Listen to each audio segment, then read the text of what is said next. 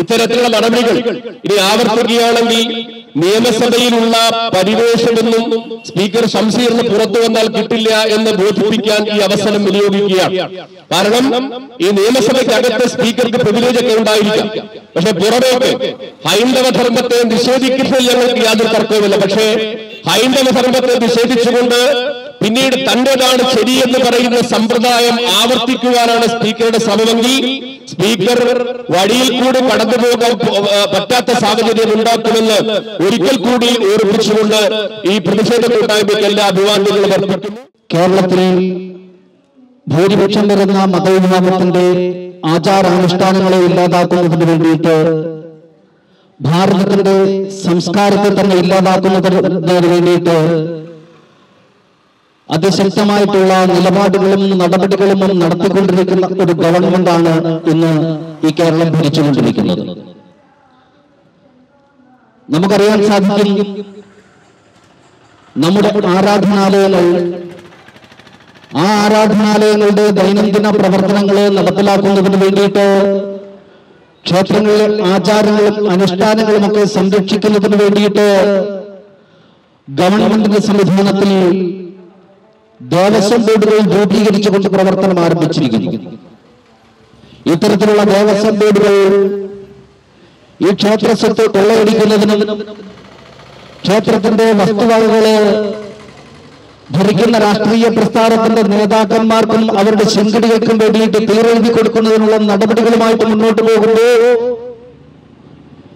ഈ കേരളത്തിലെ സാധാരണക്കാരായിട്ടുള്ള ഹിന്ദു ജനവിഭാഗത്തെയാണ് ഭരണവർഗം വെല്ലുവിളിക്കുന്നത് എന്ന് നാം ഓർക്കും നമ്മുടെ ഗണപതിയുടെ അല്ലെങ്കിൽ ഈ പുരാണങ്ങളിൽ പറയുന്ന അല്ല ഹൈന്ദവ ദേവതകളൊക്കെ മിത്താണ്. അതായത് ഒരു സങ്കല്പം എന്ന് പറയുന്നത് തെറ്റാണ്. കാരണം ഗണപതിയുടെ തലയും പിന്നെ ആനയുടെ തലയും മനുഷ്യന്റെ രൂപവുമുള്ള അങ്ങനെ ഒരു പിന്നെ ഇത് പ്ലാസ്റ്റിക് സർജറിയോ അല്ലെങ്കിൽ പിന്നെ പഴയ ഇത് തല വെട്ടി മാറ്റി വേറെ ചെയ്യുന്ന സമ്പ്രദായം എന്ന് അന്നൊന്നും ഇല്ലാത്ത കാലത്ത് പതിനായിരക്കണക്കിന് വർഷങ്ങൾക്ക് മുമ്പ് ഇല്ലാത്ത കാലത്ത് ഇങ്ങനെ ഒന്ന് ഉണ്ടാക്കി വെച്ചു എന്ന് പറയുന്നത് വാസ്തവത്തിൽ ഈ ഇത് അങ്ങനെ ആരാധിക്കുന്ന ആളുകൾ പോലും തെറ്റായ ഒരു ആരാധനയാണ് ആരാധിക്കുന്നത് ഒരു ദൈവത്തെയാണ് ആരാധിക്കുന്നത് എന്നുള്ള നിലയിലാണ് അദ്ദേഹം പറഞ്ഞത്. ഇപ്പോൾ കേരളത്തിൽ അങ്ങോളം ഇങ്ങോളം കാണുന്ന ഒരു ഇതാണ് ഈ ഇടതുഭരണത്തിൽ ഹൈന്ദവ ബിംബങ്ങളെയും ആരാധനാലയങ്ങളെയും അവരുടെ പിന്നെ പാഠ്യപദ്ധതികളെയും ഒക്കെ ആക്ഷേപിക്കുകയും അത് ജനങ്ങൾക്ക് ഉപകാരപ്രദമായ രീതിയിൽ പഠിപ്പിക്കാനോ അല്ലെങ്കിൽ ആ തരത്തിലുള്ള ദേവസ്വം ബോർഡ് ഉൾപ്പെടെയുള്ള സംവിധാനങ്ങൾ ഉപയോഗിച്ചുകൊണ്ട് ഹിന്ദു വിരുദ്ധമായ പ്രവർത്തനങ്ങൾ നടത്തുന്ന ഈ ഒരു അവസരം പിന്നെ ഈ ഒരു കാലാവസ്ഥ ഒഴിവാക്കണം. അതിനിവിടുത്തെ ഹിന്ദുക്കളെ ശ്രമിച്ചാലേ പറ്റുള്ളൂ. ഓരോരുത്തർക്കും ഇത് ചെയ്യാനുള്ള അവകാശം കൊടുക്കുന്നത് നമ്മൾ ചെയ്യുന്ന വോട്ട് കൊണ്ടാണ്. നമ്മുടെ വോട്ട് കൊടുത്ത് നമ്മുടെ പിന്നെ ആചാരങ്ങളെയും അനുഷ്ഠാനങ്ങളെയും ദേവതകളെയും ദൈവത്തെയും ഒക്കെ ആക്ഷേപിക്കുന്ന ഒരു ജിഹാദി ഭരണം രീതിയിൽ കൊണ്ടുപോകുന്നത് ഒഴിവാക്കണം. അതിന് നമ്മുടെ ഇന്ന് കാണുന്ന അല്ലെങ്കിൽ നമുക്കറിയാം ഇപ്പോൾ നൂപുർ ശർമ്മയുടെ വായിൽ നിന്നൊരു ചെറിയ വാക്ക് വന്നതിന്റെ പേരിൽ അവരെ ഈ ഭാരതത്തിൽ അങ്ങോളം ഇങ്ങോളം ഫത്വ പ്രകടിപ്പിച്ച് കൊല്ലാൻ പാകിസ്ഥാനിൽ നിന്ന് വരെ ആളെ അല്ലെങ്കിൽ ആഹ്വാനം ചെയ്ത ഒരു നാടാണിത്. അവിടെയാണ് നമ്മുടെ കേരളത്തിന്റെ ജനങ്ങളുടെ വോട്ട് വാങ്ങിച്ചുകൊണ്ട് കേരളത്തിലെ പിന്നെ ഹിന്ദുവിന്റെ ഉൾപ്പെടെ വോട്ട് വാങ്ങിച്ചുകൊണ്ട് ഭരിക്കുന്ന ഇടതു ഭരണത്തിലെ മുഖ്യമന്ത്രി തന്നെ പകുതി പിന്നെ ഒരു ഇസ്ലാമിക സ്വഭാവത്തിലാണ്. അതുപോലെ തന്നെ ഈ പറയുന്ന ഷംസീർ ആയാലും പിന്നെ റിയാസ് ആയാലും ഒക്കെ നമ്മുടെ പിന്നെ പഠന വ്യവസ്ഥയിലും പിന്നെ ഇപ്പോൾ അറിയാം ദേവസ്വം ബോർഡിൽ സംസ്കൃതം പഠിപ്പിക്കാൻ പാടില്ല എന്ന് പറയുന്നു. പിന്നെ ഞങ്ങൾ ഇത് പഠിക്കേണ്ടത്? നമ്മുടെ കുഞ്ഞുങ്ങൾ എവിടെയാണ് ഇത് പഠിക്കേണ്ടത്? ആരാണ് ഇവരെ പഠിപ്പിക്കേണ്ടത്? ദേവസ്വം ബോർഡ് പിന്നെ എന്തിനാ ഹിന്ദുവിന്? അതുകൊണ്ട് ഈശ്വരവിശ്വാസമില്ലാത്ത കമ്മ്യൂണിസ്റ്റ് ജിഹാദി ഭരണത്തിൽ നിന്നും ദേവസ്വം ബോർഡിനെയും കേരളത്തെയും രക്ഷിക്കാൻ ഇവിടുത്തെ ഹിന്ദുക്കൾ തയ്യാറായേ പറ്റൂ. അവരുടെ വോട്ട് കൊടുക്കുന്നത് വളരെ ആലോചിച്ചു മാത്രം ചെയ്തില്ലെങ്കിൽ നാളെ ഇതിനേക്കാൾ വലിയ വിപത്താണ് ഓരോ ഹിന്ദുവിനെയും കാത്തിരിക്കുന്നത്. നമ്മുടെ കുട്ടികൾക്ക് പഠിക്കാനൊക്കത്തില്ല.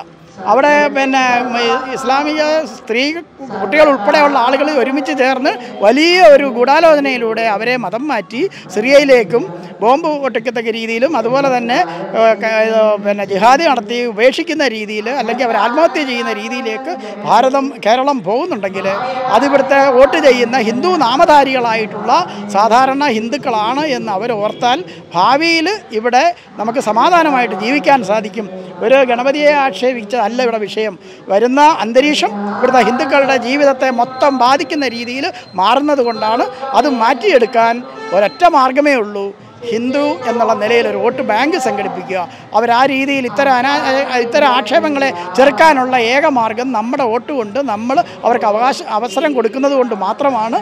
അതുകൊണ്ട് കേരളത്തിലെ ഈ സാധാരണ ഇത് കേൾക്കുന്ന മുഴുവൻ ഹിന്ദുക്കളും ഈ ഒരു രീതിയിലേക്ക് വരണം.